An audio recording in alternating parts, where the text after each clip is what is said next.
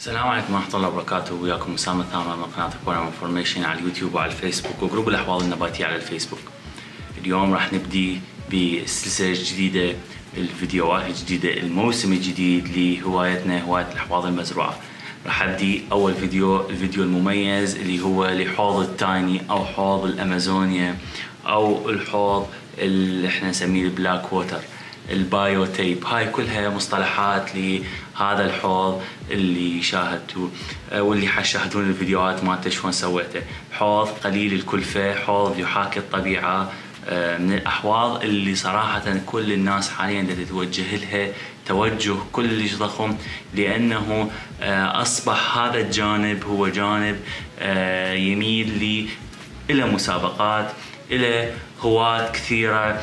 آه هذا الجانب يحاكي الطبيعة والأهم من هاي النقطة هي أنه قليل الكلفة مواد الأولية كلها متوفرة. أغلب الأسماك اللي إحنا نجيبها بالسوق اللي موجودة هي كلها آه أسماك أمازونيا خلونا نجي التفاصيل نشوف الفيديو شلون سويناه ونسولف شوية شوية. تابعوا وياي. بسم الله. بالبداية شباب خلونا نشوف آه طبعا هنا أنا حسوي عملية إضافة المواد لداخل الحوض. المواد لهذا الحوض تتكون من الآتي يعني مواد بسيطة جدا وغير مكلفة. تحتاج إلى رمل آه الرمال ممكن تكون أي رمل موجود بالسوق مو رمل بناء لا أي رمال آه تباع على أنها رمال خاصة بالأحواض النباتية. أنا هذا رمل آه عندي لحوض سابق استخدمته من زمان وضميته بعد فترة وهسه رجعت استخدمته من جديد. أهم شيء من المواد انه الرمل انه يكون غير آه، بتأثيرات انه ترفع البي اتش أو ترفع الحامضية أو ترفع الأملاح عفوا. يعني هذه المواد كلها تكون لازم خاملة. فإذا أنتم فاحصيها ومجربيها okay. إذا كان قلت رمل البناء ما ينفع لأنه يحتوي على نسبة كبيرة من الأملاح حتى لو اذا غسلنا طبعا آه هذه مثل ما تشوفون أنا فرشت الرمل بطريقة جدا يعني اعتيادية. على مود أن أخلي الأحجار ما تأثر على قاعدة الحوض ال basement. ممكن أنتم ترفعوها باستخدام آه يعني ال pad أو ممكن استخدام البلاستيك أو ممكن تستخدمون الفلين. يعني كل هالنقاط أنا صراحة ما أنصح باستخدام الفلين لأنه الفلين يرفع ال scape للحوض النباتي فأفضل إنه استخدموا آه، رمل أو أي مواد طبيعية. طبعا استخدام التربة مهم ممتازة جدا أفضل من الرمال لأنه التربة تعمل عامل خافض للبي اتش وبطبيعة هذه الأحواض هي أحواض حامضية المي. بي اتش مالتها منخفض جدا ال KH مالتها مصفر. فالأحياء اللي حنحطها هي أحياء أمازونية تعيش بهذه البيئه اللي إحنا نوفرها. فاستخدام التربة هي ممتازة جدا. في حال إذا أردت أنه تزيد كلفة الحوض وتبقي ديمومته أحلى وأجمل آه، استخدم التربة. لكن أنا صراحة قلت لكم استخدمت الرمل كيس الرمل سعره ألف ونص دينار ألفين دينار. هاي سعر الكيلو.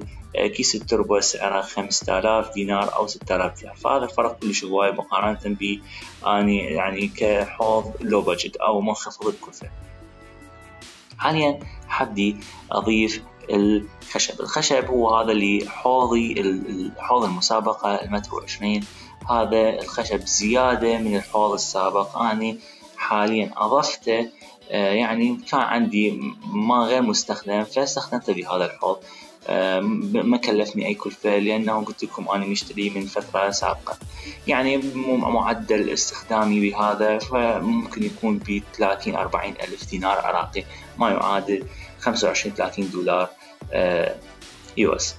فطبعا الأحجار اللي موجودة قدامكم هي أحجار مش مال العراق هي أحجار غير مؤثرة على البي اتش ولا على ال KH بصوره طفيفة جدا ما تأثر على الأحياء اللي حنستخدمها بداخل هذا الحوض داخل هذا الحوض الامازوني ف آه، أحجار جدا جميلة وشكلها حلو وأعتقد يعني بعد فترة حتلاحظوا إنه ما بها أي آه، تأثير أو أي ميزة تخليك إنه جذبك للاحجار ما أعتقد إنها جانب مميز. بالحوض لأنه الحوض الدارك هو آه، حوض ما يميز عيننا ولا يميز تأثير آه، وجوده. يعني الاهتمام يكون بالخشب وتأثير تفرعات الخشب والأسماك اللي موجودة تسبح بداخل الحوض. آه، طبعا هنا عملية ترتيب الأحجار. على مود ما تحصل عندي مشاكل يعني طوفان للخشب. الخشب فوق الماء أو ما تحصل عندي مشكلة آه، يعني تتحرك أو أثناء عملية تنظيف زجاج الحوض مستقبلا أثناء فترة الصيانة للحوض هذا. فترتبها بترتيب وطبعا دائما أخلي الشكل الحجر المميز أو التف... أو التأثير المميز بالوجه. ومثل ما قلت لكم هذا كله ما راح يبين مستقبلا حتى لو استخدمت الجلمود الحصى الجلمود الكبار فهو أحلى وأقرب للطبيعة طبعا هذا الحجر ما كلفني في لأنه موجود كان عندي بالحديقة. استخدمته نفسه بداخل الحوض النبات الحوض الأمازوني هذا.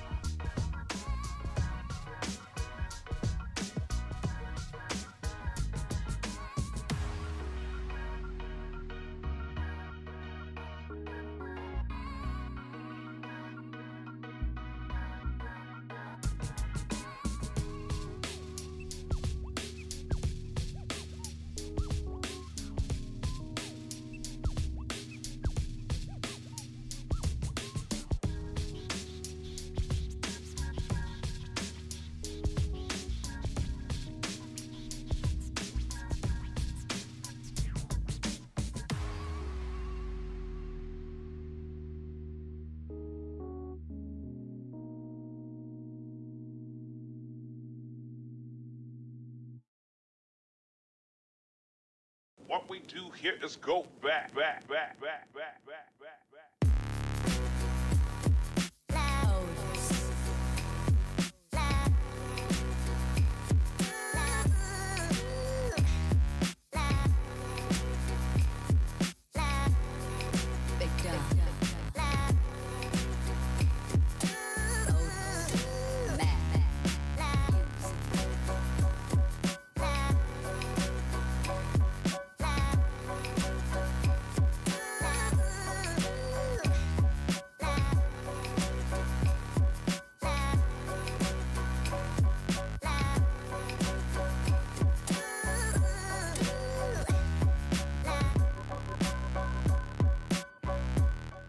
مثل ما لاحظتوا بعد ما خلصت الحوض آه، طبعا ضفت رمل إضافي آه، ضفت آه، يعني رمل إضافي ثبت الخشب بالحجر يعني على مود ما تصير عندي حركة مثل ما قلت لكم.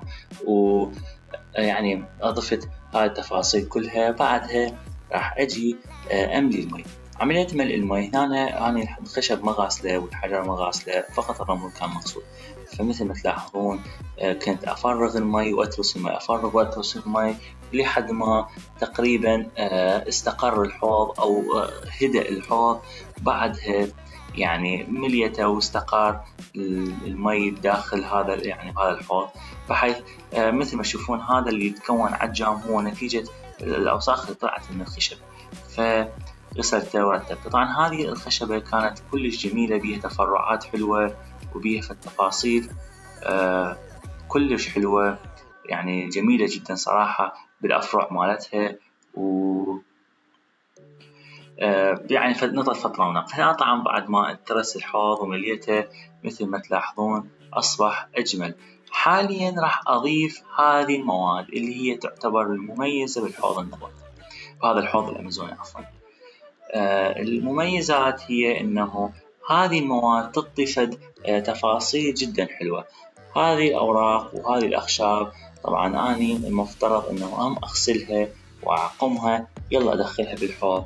ولكن أني اللي سويته هو أنه رأسا دخلتهم داخل الحوض وغطستهن جوا واعتمدت على عملية أنه أبدل مي أكثر وهي هناك آه، الحوض راح يعني تتنظف وتتعدل ويحصل اللي يحصل.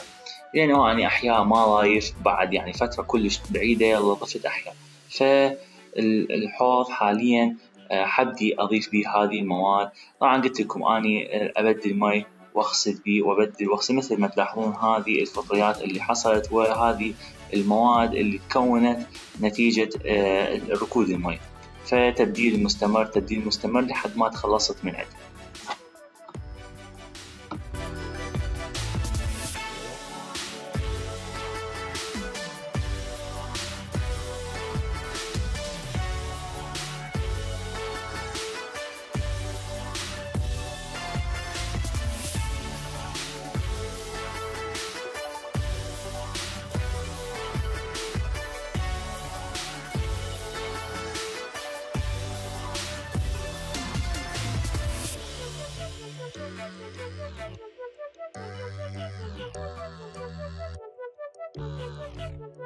Thank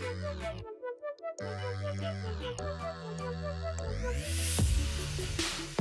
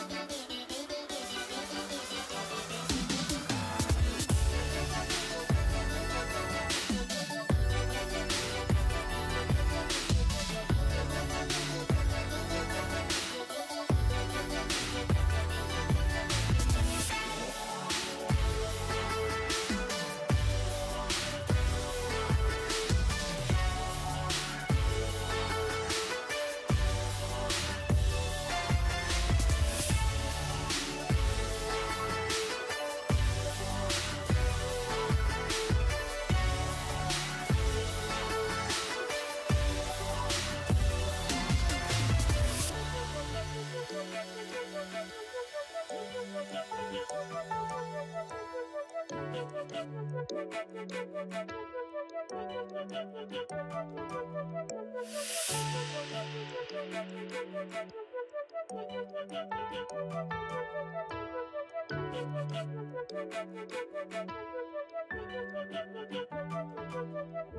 you.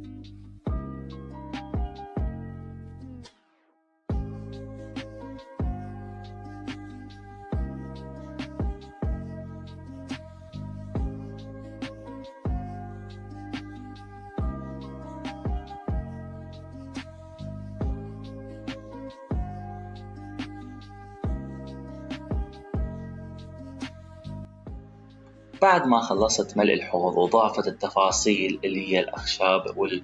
والأوراق ال- الإضافية اللي حتعطينا الرونق للحوض جيت شغلت الفلتر. الفلتر عندي أنا فلتر سابقا مشتريه من زمان وعندي لحوض قديم يعني آه، استخدمته نفسه شغلته لهذا الحوض. أما الإنارة فاستخدمت الإنارة ببادئ ال- الفيديو استخدمت هذه الإنارة اللي هي Chihiros C II هي الإنارة ال- ال- القليلة الكلفة من شركة Chihiros. طبعا بها تحكم بها dimmer بها عدة ألوان. أنا استخدمتها بالبداية وكانت يعني كانت review لهذه الإنارة فكانت تجربتها على هذا الحوض. بعدها استخدمت آه، إنارة Crazy Fishman حصلتها بسعر كلش مناسب. كانت كلفتها عشرين ألف شبيهة لهذا النوع من الإنارة وشدتها نفس الشدة. فأنا ما عندي فد تأثير كلش قوي وشدة كلش قوية لهذا الحوض. ومستقبلا إذا فكرت أضيف إضاءة فحضيف spotlight أصفر على مود يعطيني فد رونق كلش حلو للحوض هذا.